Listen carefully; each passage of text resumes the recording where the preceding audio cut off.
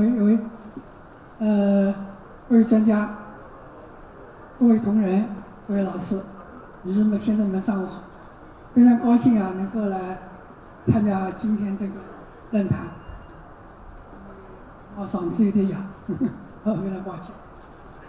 这个我今天讲的题目呢，是乌林皇时代的未来教育。这个大家知道，当今世界啊，已经进入一个信息万变的时代，互联网呢正在改变着世界，啊，它的变化可以说是难以预测，啊，未来将来是一个什么样的社会，恐怕我们谁也说不清楚。我想大家想，十年以前我们谁能想到，咱们带了一部手机，现在都可以走遍天下，没想到，是吧？到底以后这个十年怎么样，更难预测。那么，有的学者认为，过去蒸汽机、电力和计算机的出现，社会还有几年的时间适应技术带来的变化。可是现在呢，经济已经不行了，今年这个变化是随时随地的迅速万变。是吧？线速之间呢，都是以数数字化的形式啊，普遍天下，已经没有时间让我们再来思考，再来适应。那么，引起互联网到底教育有些什么变化呢？但是我想有这种几个方面。一个呢，就是教育未来未来的使命啊啊，教育是为未来社会培养公民，因此教育必须适应科学技术的变革。而引起的啊社会经济的变化。那么今天的青少年生活在变革的时代，他们的生活方式和思维方式都与过去完全不同。呃，所以他们的对他们的培养方式，我想我们需要改变。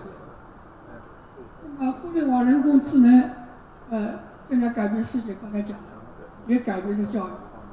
那么它改变的教育什么呢？改变教育的概念，包括教育的概念、教育的定义，啊，教育的生态环境，改变了教育的形态、教育的方式、师生关系，以及甚至于家庭的关系等等。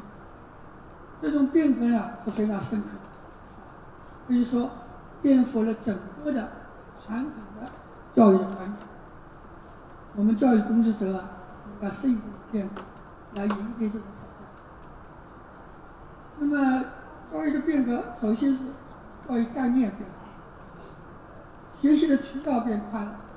以往的学习主要是在学校里头进行，现在可以在网上学习，在虚拟世界里学习。那个学习已经不仅限于学校，也不仅于一些呃年龄限制。正规教育和非正规教育，正式教育和非正式教育相结合。可以人人可学，处处可学，时时可学。联合国教科文组织啊，在二零一五年十一月发表了一个报告，叫“反思教育”，这个教育观念的转变。这个就提出来，就是我们大多数的学习是在非正式的环境。我为焦点时不时他们。这个学校也好，培训机构也好，都是都是制制度性。但是我们的学习都不是非制度性，很多我们看一个电影啊，我们去旅游啊，啊，都可以受到学习，是吧？在网上都可以学习，所以这个非正式学习啊，恐怕是将来一个很主要的方式。那么教育培养的目标也要变化，啊，呃，过去教授教育呢就是传授知识，啊，或者呢最多是培养一些能力，而且从记忆不从能力。这种结果不从过程，现在是一个创新的时代，科学技术日新月异，所以我们的变目标呢要变改变。我们要培养学生批判性的思维、创造性的思维，哎，这个实践的能力。所以我有的时候讲，我说什么叫教学？教学的本质也可以概括为一句：教学的本质就是培养培养思维，培养一个人的思维，思维变了。那么他的那个生意变化的时候，是吧？我觉得我们那个现在，你比如说，大家都讲乔布斯改变世界，那么乔布斯改变世界是改变他的思维，啊，他发明了个人电脑，发了 iPhone，是吧？都改变世界。马云改变了世界，马云是不是改变了商业世界？啊，过去我们买东西到商店到商店里去，现在可以在网上买。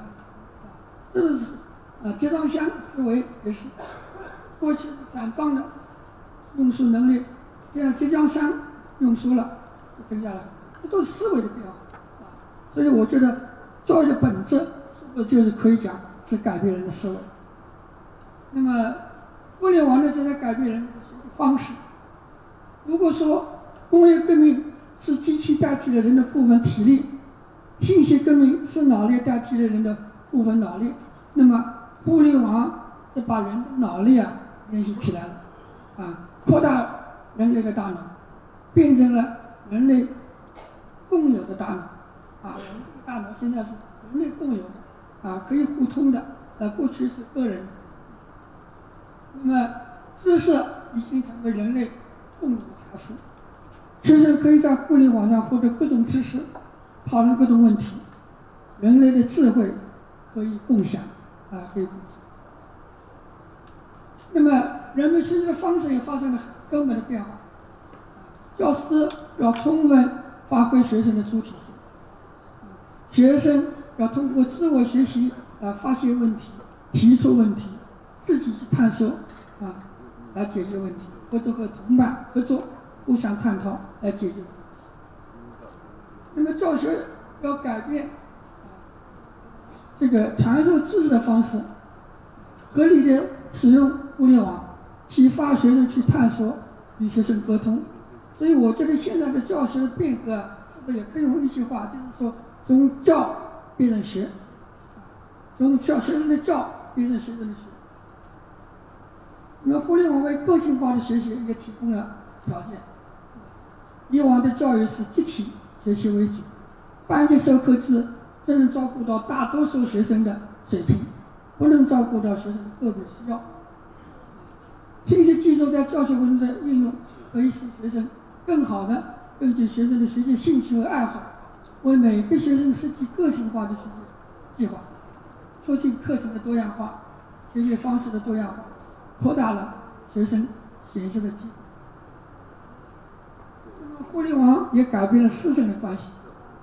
教师已经不是知识的载体，唯一的载体，啊，也不是知识的权威，啊，学生已经不是依靠教师的传授知识来获得知识，而是可以通过各种媒体，啊，获取的啊信息和知识。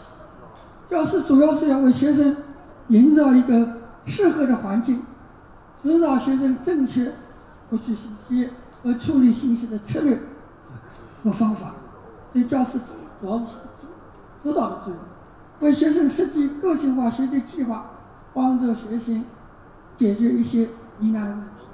所以教师的角色啊，是不是可以说变成一个是设计者，为学生设计一个环学习环境，指导者，指导他怎么正确。啊，用个方法来获取信息，然后就是帮助学生有困难要进行帮助，最后是跟学生共同学习的学习共同体。那么这都是教育的，呃，互联网啊和人工智能的时代给教育带来的变革，还有很多，时间关系，我就讲这么几个主要的方面啊，目标和方法。那么教育的本质不变。互联网虽然改变了，呃，教育的很多方式方法，啊，是这个，呃，是教育来了一个，呃，变革嘛，很大变。但是有一样是不变的，就是教育的本质不会变。互联网教育发生了，包括这个，这个对教育的发，这个改变是很大的，可以说革命性的变革。但是教育的本质不会变，教育是传承文明。创新知识、创呃培养人才的本质不会变，一个树人的根本任务不会变。呃，互联网这个，呃，刚才我讲的这个教科文组织反思教育的报告，呃，前年的反思教育报告说，他报告里说，说教育啊要重新定义教育，重新定义知识和学习。那么他怎么重新定义呢？他说教育。应该是以人文主义为基础，尊重生命和人类尊严，权利平等、社会公呃正义、文化多样化、国际团结和可持续的未来共同承担责任。他对教育做了一个这么一个新的新的定义啊，呃，我觉得这是反思了啊这几十年来教育的啊过去我们讲科学主义啊，第一个报告就是社会生存，一九七二年的科学主义的态度。啊，科学技术发展了，人类进入了实际化社会了，要终身教育，提出终身教育的概念，是吧？第二个报告就是这个一九九六，啊，叫做教育财富用到其中，那是在资本主义社会高度发达的过程当中，呃呃经济繁荣的时候，那种很乐观主义来讨论教育，说教育财富用到其中，是吧？认为二十一世纪一定会。解决很多问题，财富一定会增加，但是到了二十二十一世纪，啊，零八年的经济危机也越来越厉害，啊，所以出来的第三个报告，这第三个报告就是反思。教育，教育应该以人文主义为基础，尊重生命，尊重人，就是这呃人类尊严等等，我不多解释时间关系，啊，回归教育的本源。那教育呢，是神的人的权利，它的本源是什么？是人的权利，啊，是社会发展的基础，也是全社会的公益事业，啊，所以教育要永远把培养学生的思想信念、道德情操要放在首位，培养更加精美的未来的那么，教育的本质可以概括为，我认为，啊。可以概括为提高人的生命质量和生命价值，是不也可以这么这么来？我们讲经常讲教育本质，要教育本质培养人啊，没错。但是培养什么人啊？怎么培养人？那么我认为教育的本质是不是可以说是提高人的生命的质量生命的价值？提高人的生命的质量，就是使他将来能够过上尊严而有幸福的生活。没有，很难有幸福？很难有尊严？提高人的生命价值，那就是他要能够为社会、为人类做出应有的贡献，是吧？就这两个都是要统一起来，啊！我们经常年轻人讲，实现人生价值。人生价值在哪里？人生价值就是你要为人类、为社会做出一个贡献，是吧？孤立的说，啊，我是一个价值，承担，价值是。判断，是一个互相之间的判断，所以只有为社会贡献，反正都是啊，提高了人的生命的价值。嗯，那么呃，学校和教师会不会消消？有的人讲，现在互联网时代啊，人人可以学，可以学，是不是学校和教教师要消亡了，要消失了？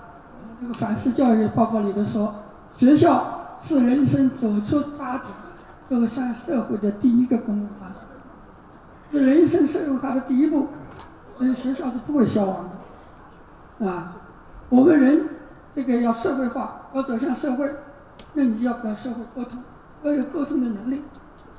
那么家里头，现在这个呃脑科学也得出结论了，就是人的性格。人的社会情绪关键期是一岁零岁到一两岁，零岁到两岁的时候啊，家长要跟孩子多交流，啊，甚至情感上交流，一个眼神、一句话来培养学生的，这在零岁到两岁的时候。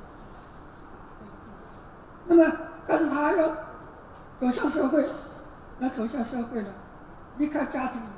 走向社会第一步就是幼儿园、小学，是吧？是，所以学校、幼儿园、小学是不会消亡，啊，儿童进入学校不仅学习知识，更是学会做人，学会与人沟通和交往。那么，学习是人类的集体行为，啊，正如反思教育所说的，学习既是个人的行为，也是集体努力。学习是由环境决定的。多方面的现实存在，我觉得最后这句话非常重要。学习是由环境决定的多方面的现实存在啊，它不是孤立的啊，所以我们现在有很多误区啊，有的人就是我们为了这个逃避这个考试啊，逃避这个学学校教育啊负担重啊，把学生关在家里头一个人学习，那不行，学习必须是一个一体的活动，是吧？学习是是这个现实环境决定的一个。那么，教育不只是个人发展的条件，也是人类集体发展的事业。个个人的发展也不是孤立的，是在人类社会共同发展的过程当中发展。也是刚才我讲的，是吧？学校是学生集体学习、共享学习成果的最好的场所，所以学校是不会消亡。那，教室也不会消失。信息技术、互联网改变了教育环境和教育方式。但技术永远只是一个手段，不是目的。教师的教育观念、教育方式方法需要改变，但是培养人才的资质是没有变化。那么，儿童的成长需要有思想信念、有道德情操、有扎实的学识、有仁爱之心的教师的领导。这个这个是个好老师的标准是习总书记讲的，在北师大一九。呃，二零一四年呃教师节是讲的，有道德情操。那么我们培养学生也是要用这个思好的教育，呃，老师来培养。人只能由人来培养，不可能由机器来培养。机器替代不了老师对学生的精神世界的影响，是吧？我们现在大家都知道，我们上课的时候做课件，我觉得我是不大赞成呃课堂里头所有的课件。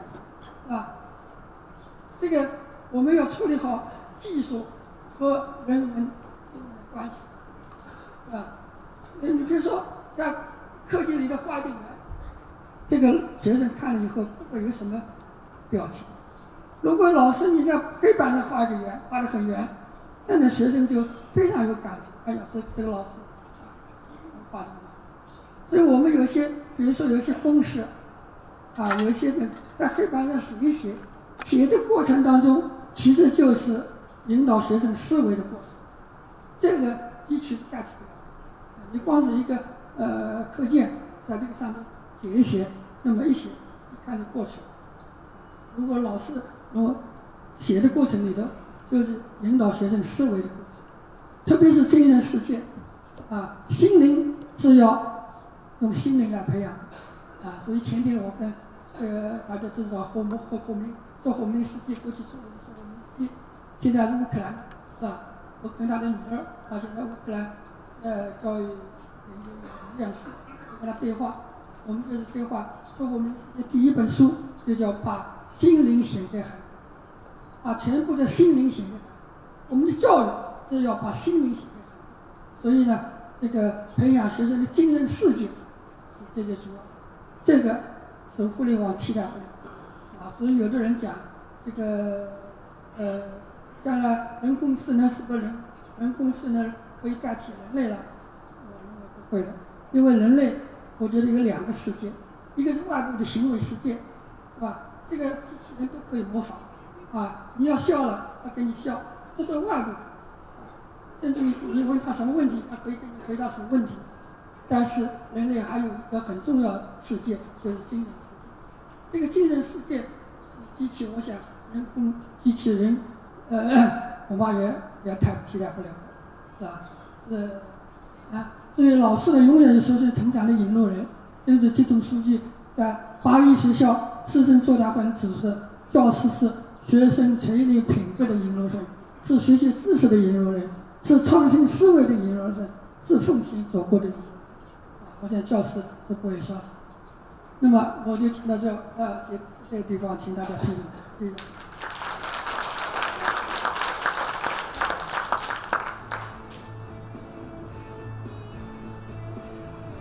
谢谢顾先生，将近九十的顾先生，八十八周岁了，仍然用非常开放的理念和视野告诉我们在互联网在充满了教育创新的时代什么东西是变的什么东西是不变的。我觉得顾先生的报告里还有一个点特别值得我们思考就是今天在教育当中的技术性和人文性之间的关系。我觉得对我们今天在教育创新实践中的各位同仁应该说都非常具有启发性我建议我们再一次用热烈的掌声感谢顾先生。